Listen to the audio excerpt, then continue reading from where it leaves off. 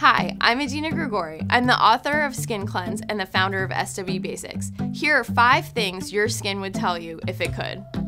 Number one, your skin is not as helpless as beauty companies would like for you to believe, and it's really starting to resent being called flawed all the time. Number two, it would like to remind you that adults eat their vegetables and don't complain about it. Oh, and P.S., it really wishes you would drink a glass of water. Number three, there's a really awesome saying people only want to hear good news about their bad habits, but the truth is, you have some really bad habits that are hurting your skin, and the news about them is not good.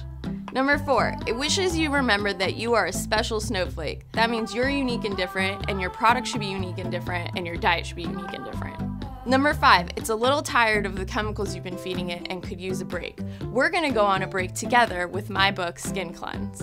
We're gonna talk about your diet, your lifestyle, and your beauty products. I'm also gonna offer you a really easy way to get clear, calm, and happy skin. I'm on it right now. I'm not wearing any products or any makeup. I want you to do it with me, and your skin really wants you to do it too.